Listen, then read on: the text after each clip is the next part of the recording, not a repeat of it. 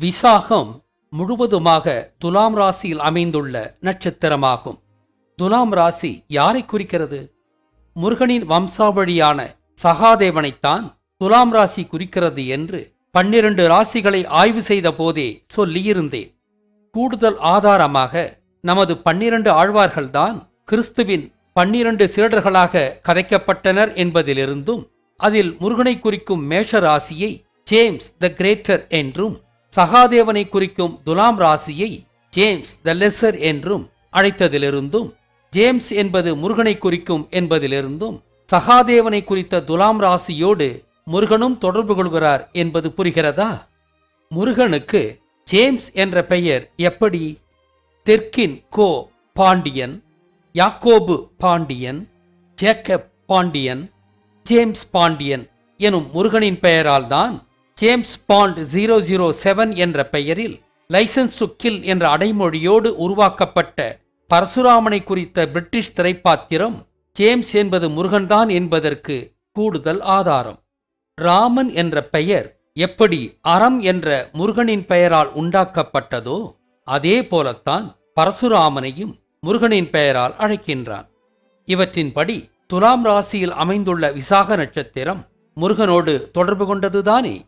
விசாக நட்சத்திரம் முருகனின் ஜென்ம நட்சத்திரம் என்று சொல்லப்படுவது நமது பணியை மேலும் இலகுவாக்கிவிட்டது. இந்த நட்சத்திரத்தின் வடிவம் என்ன? அந்த வடிவம் சொல்லும் அடையாளம் என்ன? துலாம் என்பது தராசு. துலாம் ராசியில் அமைந்துள்ள விசாக நட்சத்திரத்தின் வடிவமும் தராசின் வடிவம்தான். சரி ராசியாக அது தராசை குறிக்கிறது. நட்சத்திரமாக அது எதை குறிக்கிறது? இந்த தராசின் தட்டுகளை நீக்கிவிட்டு அவற்றுக்கு பதிலாக தூண்களை அமையுங்கள். இப்போது இது எப்படி காட்சியளிக்கிறது? ஒரு நுழைவாயில் போலத்தானே? ஆமாம் விசாக நட்சத்திரம் நுழைவாயிலை குறிக்கும்படித்தான் கருதப்பட்டுள்ளது. இந்த நட்சத்திரத்தின் அடையாளமும் அதுதான். அப்படியானால் இந்த நுழைவாயில் எதை குறிக்கிறது?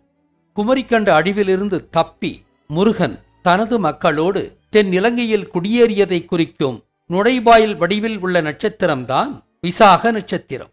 வி பிளஸ் சா பிளஸ் அகம். விசாகம் விசாகம். அதாவது உயர்ந்த பெரிய அகம். குமரி பேரழிவிலிருந்து தப்பி இலங்கை என்ற புதிய அகத்தில் தனது மக்களோடு புது வாழ்வு தொடங்கிய முருகனுக்கு இது இரண்டாவது வாழ்வு பெற்றது போலத்தானே. அதை குறிக்கும்படித்தான் விசாகத்தை முருகனின் ஜென்ம நட்சத்திரம் என்றிருப்பார்கள். ஆக இது முருகன் இலங்கையில் குடியேறியதை குறிக்கும் நட்சத்திரம்தானே ஒழிய முருகனின் பிறப்பு நட்சத்திரம் அல்ல. இதன் தெய்வம் இந்திர அக்னியாம். கதிர்காமத்தில் பனங்காட்டை கொளுத்தி விவசாயம் தொடங்கிய முருகன் அக்னிதேவன்தானே இது முருகனை குறித்த நட்சத்திரம் என்பதால் முருகனின் ஒரு பரிமாணமாகிய அக்னிதேவன் இதன் தெய்வமாக இருக்கலாம். ஆனால் இதனோடு இந்திரனை ஏன் இணைத்தார்கள் என்று விளங்கவில்லை. இலங்கையின் இந்திரன் முருகன் காலத்தில் வாழவும் இல்லை. இந்திர அக்னி என்ற தெய்வத்தை நாம் இப்போதுதான் கேள்விப்படுகிறோம். இலங்கையின் கதிர்காம பகுதியில் குடியேறிய முருகன் அங்கு காட்டை கொளுத்தி விவசாயம் தொடங்கியதால் முருகனாகிய அக்னி தேவனை முருகன் இலங்கையில் குடியேறியதை குறிக்கும் விசாக நட்சத்திரத்தின் தெய்வமாக்குவது பொருத்தம்தான். இந்த நட்சத்திரத்தின் இன்னும் ஒரு அடையாளம் குயவனின் சக்கரம். இலங்கையில் குடிபுகுந்த முருகன் ஒரு புதிய நாகரிகத்தையே கட்டி எழுப்பினார் அல்லவா அதைத்தான் குயவனின் சக்கரம் குறிக்கிறது. புதிய சமயமாகிய சமணம் எனும் ஆசீவகம் புதிய விவசாய தொழில்நுட்பம் போரைத் தவிர்க்கும் விளையாட்டுப் போட்டிகள் கல்வி கற்பிக்கும் குருகுலம் புதிய வாழ்க்கை தத்துவம் தமிழுக்கு உயிர் மெய் உயிர்மை என்ற அதிசய எழுத்து முறை மிரள வைக்கும் விஞ்ஞான கண்டுபிடிப்புகள் என்று அந்த புதிய கலாசார அங்கங்களை சொல்லிக் கொண்டே போகலாம். முருகன் காலத்திற்கு முன்பு குயவர்கள் கட்டையால் தட்டி தட்டித்தான் சட்டி செய்தார்கள். அதை சில குயவர்கள் இப்போதும் செய்வதை காண முடியும். உருளைச்சக்கரம் கண்ட பிறகு உருளைச்சக்கரத்தை கொண்டு வடிவான சட்டிகள் செய்யும் புதிய முறையை முருகன் கற்பித்திருக்கலாம். குயவனின் சக்கரம் எனும் இந்த அடையாளம் அதையும் சேர்த்தே குறிக்கலாம். இந்த நட்சத்திரத்தின் கோள் முருகனையும் சரஸ்வதியையும் குறிக்கும் வியாழன் என்பது மிகவும் பொருத்தமே.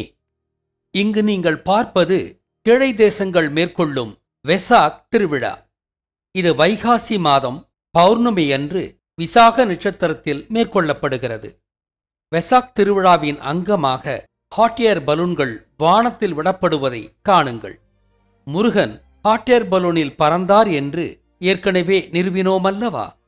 அதற்கான புதிய ஆதாரம்தான் வெசாக் திருவிழாவில் கீழை தேசத்து மக்கள் வானத்தில் விடும் இந்த ஹாட் ஏர் பலூன்கள். ஆனால் இந்த திருவிழாவை புத்த பூர்ணிமா என்று பௌத்தர்களின் திருவிழா நாளாகத்தான் அங்கு கடைபிடிக்கின்றனர். அதாவது முருகனின் ஜென்ம நட்சத்திரம்தான் புத்தரின் ஜென்ம நட்சத்திரமுமாம். இது எப்படி என்று பார்க்கலாம். புத்தர் தொடங்கிய சாக்கிய பௌத்தம் என்பது ஆசீவகத்தின் இன்னும் ஒரு வடிவம்தான். புத்தரின் தாய் புத்தரை வயிற்றில் சுமந்தபோது ஒரு வெள்ளை யானை தன்னிடம் ஒரு தாமரை மலரை கொடுத்துவிட்டு தனது கர்ப்பப்பையில் புகுந்து கொண்டதாக கனவு கண்டார். இந்த கனவு புத்தர் ஒரு ஆசீவக துறவியாக பிறக்கிறார் என்பதைத்தான் குறிக்கிறது. சாக்கிய பௌத்தத்திற்கு முன்பு இந்திய துணைக்கண்டத்தின் பூர்வீக சமயமும் முருகனின் ஆசீவகம்தானே? ஆக புத்தர் தனது முன்னோனான முருகனை அன்றே வைகாசி விசாகத்தில் நினைவுகூர்ந்து கொண்டாடிய நிகழ்வு இப்போது புத்தரின் நினைவாக கொண்டாடப்படும் விசாக் திருவிழாவாக மாற்றியமைக்கப்பட்டுள்ளது. இதைச் செய்தவன் மகாயான பௌத்தத்தை தாபித்த பிராமணனாக இருக்கலாம். ஏனென்றால் புத்தர் உருவாக்கிய சாக்கிய பௌத்தத்தை கிமு ஒன்றாம் நூற்றாண்டில் அடித்த பிராமணன்தான் அதற்கு மாற்றாக மகாயான பௌத்தத்தை உருவாக்கியவர். மகாயான பௌத்தம் ஜீசஸையோ அல்லது சாணக்கியனையோ அல்லது விட்டசோகனையோ புத்தராக கொண்டு கிபி ஒன்றாம் நூற்றாண்டில் ஸ்தாபிக்கப்பட்டிருந்தாலும் பரசுராமனின் காலமான கிபி மூன்றாம் நூற்றாண்டுக்குப் பிறகு மகாயானத்தின் புத்தர் யார் தெரியுமா? பரசுராமன் தான். இதற்கு மகாயான பௌத்தத்தை தழுவிய மணிமேகலையின் அக்ஷய பாத்திரமே சான்றாக உள்ளது. அக்ஷய தெரிதியை என்பது பரசுராமனுக்காக எடுக்கப்படும் விழாதானே. எனவே மணிமேகலையின் அக்ஷய பாத்திரம் என்பது பரசுராமனின் அக்ஷய பாத்திரம்தான் என்று கொள்ள வேண்டும். ஆக மகாயான புத்தன் என்பது பரசுராமன்தான். முருகனின் அடையாளங்களை பரசுராமனின் அடையாளங்களாக மகாவீர் என்ற பெயரில் ஆட்டை போட்டது நினைவுள்ளதா? அதே போலத்தான் முருகனின் ஜென்ம நட்சத்திரமாக சொல்லப்பட்டதை புத்தரின் ஜென்ம நட்சத்திரமாக்கி அதே நாளில் வெசாக் திருவிழா கொண்டாடுகின்றான். ஆக வெசாக் திருவிழாவில் விடப்படும் ஹாட் ஏர் பலூன்கள் மூலத்தில் முருகனுக்காக விடப்பட்டவைதானே ஒழிய அவை புத்தருக்காக விடப்படுபவை அல்ல. செயின்ட் ஜார்ஜ் எனப்படும் முருகனின் மேற்கத்திய ஊராகிய கேப்படோசியாவில் குகனாகிய முருகனை குறிக்கும் வகையில் எங்கு காணினும் குகைகள் காணப்படுவதும் அங்கு ஹாட் ஏர் பலூன் டூரிசம் இருப்பதும் முருகன் ஹாட் ஏர் பலூனில் பறந்தார் என்பதற்கான மூல ஆதாரம். அதைத்தான் வைகாசி விசாக திருவிழாவில் விடப்படும் வானேகும் ஹாட் ஏர் பலூன் குறிக்கிறது. இந்த நட்சத்திரக்காரர்கள் பல துறைகளில் சாமர்த்தியசாலிகளாகவும் அமைதியை விரும்புபவர்களாகவும் இருப்பர்.